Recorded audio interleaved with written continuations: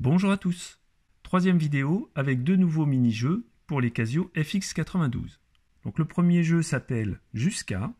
Donc sur la FX92 classique, il n'y a rien de spécial à faire.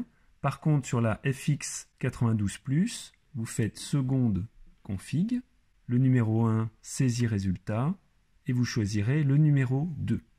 Et à la fin du jeu, vous referez seconde config, le numéro 1, et vous remettrez le numéro 1. Donc là, je vais garder pour l'instant le numéro 2. Maintenant, Alice et Bob doivent se mettre d'accord sur un nombre. Par exemple, 10, 15, 7, ce que vous voulez. Donc là, on va imaginer qu'ils ont choisi tous les deux 10. Donc on va commencer par mettre 0 dans la mémoire M. Donc on fait 0 entrée en mémoire M. Et ici, 0, sto et la touche M+.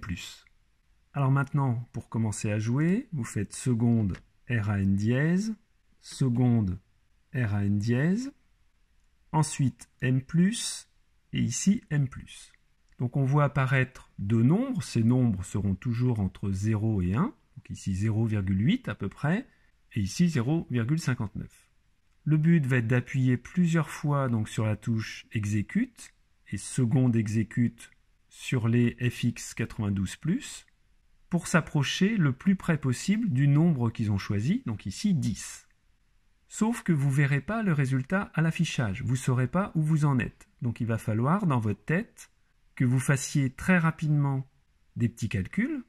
Donc par exemple ici, on est à 0,8, et quand Alice va appuyer sur exécute, elle voit 0,1, donc elle se dit que 0,8 et 0,1, ça fait 0,9, comme il y a d'autres nombres à côté, elle est à peu près à 1. Si Bob fait seconde exécute, il était tout à l'heure à peu près à 0,6, là il vient de rajouter 0,4, il est aussi à peu près à 1. Alors continuons pour l'instant uniquement avec Alice, donc qui est à peu près à 1, donc elle appuie, là elle se dit je suis à peu près à 1,3, je rajoute 0,5, donc ça fait 1,8, 1,8 et 0,6, ça fait 2,4. 3,2. 3,8 peut-être. Ah, ça, ça fait pratiquement 1. 4,8. Ça, c'est pratiquement 0. Donc, on va rester à 4,8. 5,4. 5,5. 6,2 ou 6,3, je sais pas trop. 7,3. 8. 8,1. 8,7. À peu près 9. 9,5, 9,7, 9,9. Ah, elle peut s'arrêter là ou elle appuie encore une fois. Bon, disons qu'elle s'arrête ici. Et en parallèle, Bob faisait la même chose. Donc lui, il doit faire à chaque fois seconde exécute, seconde exécute, seconde exécute. Donc là, j'ai oublié de compter, donc ça va être difficile pour arriver à 10. Donc je vais le faire encore quelques fois. Et le premier qui pense être arrivé vers 10 dit stop.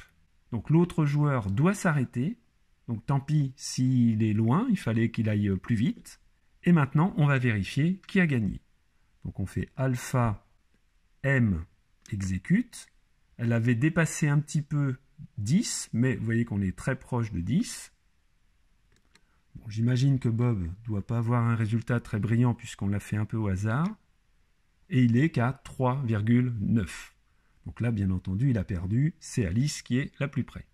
Alors vous pouvez jouer tout seul pour vous entraîner. Donc là, je vais refaire 0, entrée en mémoire M, seconde RAN dièse, M+, et par exemple, je choisis le nombre 5.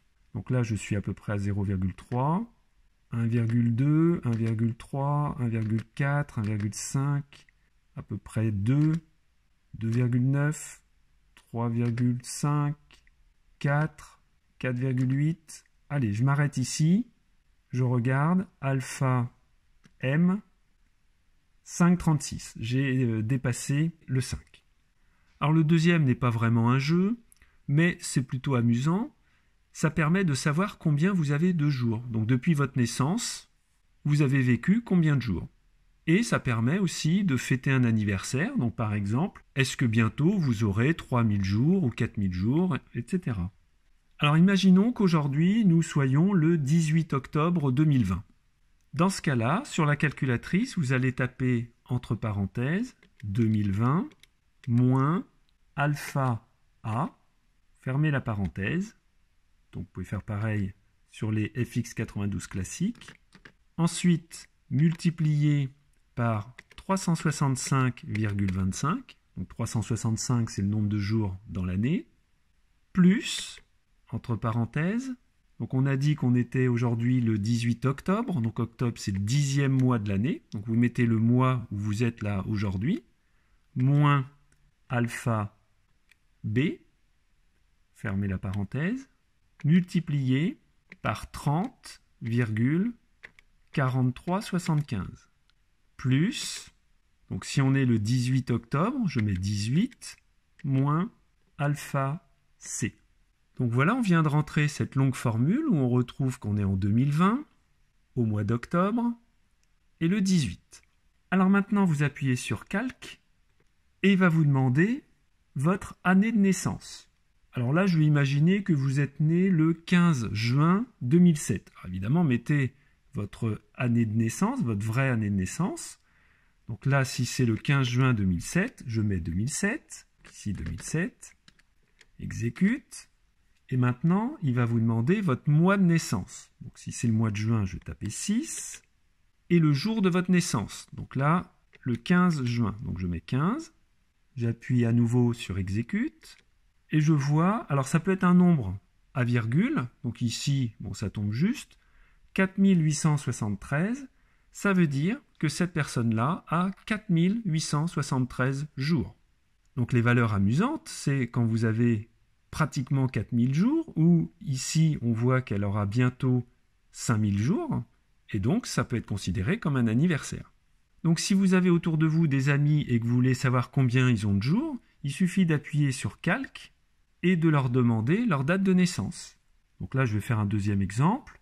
Quelqu'un qui est né le 25 décembre 2008, donc on va taper 2008. Le mois de décembre c'est 12 et le 25 exécute. Alors si vous avez le résultat sous la forme d'une fraction, ce n'est pas grave. Il suffit d'appuyer sur SD et on voit que la personne a 4315 jours. Alors on peut faire l'inverse et essayer de deviner quand est-ce que vous aurez 5000 jours ou 6000 jours ou le nombre de jours que vous voulez? Donc la formule, ça va être pratiquement la même, mais on va inverser, c'est-à-dire qu'on va commencer par A moins et là vous mettez votre année de naissance. Donc si vous êtes né en 2007, ben, vous tapez 2007, multiplié par 365,25 comme tout à l'heure, plus entre parenthèses, alphabet moins le mois de votre naissance, donc si la personne est née en juin, je mets 6, multiplié par le nombre de tout à l'heure, 30,4375, plus alpha c moins le jour de votre naissance. Donc si la personne est née le 15, je mets 15. J'appuie sur calque. Alors tout à l'heure, on a vu que le 18 octobre 2020, la personne avait 4873 jours. Donc 5000 jours, c'est à peu près 130 jours plus tard. Donc 130 jours, ça fait à peu près 4 mois. Donc je pourrais regarder en 2021. Donc oui, on le fait un petit peu au hasard. Le mois de février, et par exemple le 1er février. Exécute. j'appuie sur SD pour avoir une valeur approchée. Alors vous voyez, c'est pas trop mal. Elle n'a pas encore 5000 jours, elle en a 4977. Donc là, il me manque 23 jours. Donc ce que je vais faire, je vais refaire calque, je retape le 2021, je retape le 2, et là, je vais rajouter 23 jours, donc ça veut dire le 24 février. Exécute, exécute, et j'obtiens 5000. Donc cette personne, on pourra fêter son anniversaire, elle aura 5000 jours, le 24 février 2021. Voilà, j'espère que c'est bientôt votre anniversaire et je vous dis à bientôt.